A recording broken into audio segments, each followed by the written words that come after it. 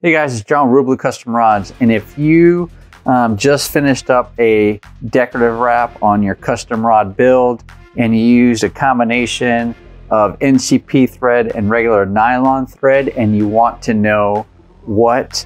that wrap will look like once you add finish to it without actually adding the finish to it, I've got the best pro tip for you and your kit bag. Take a little bit of distilled water and just grab one of your uh, brushes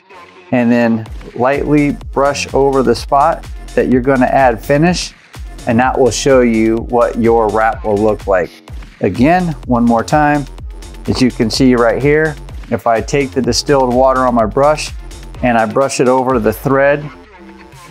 with distilled water, that will show me what my wrap will look like once the finish is applied and dried. Again, only use distilled water.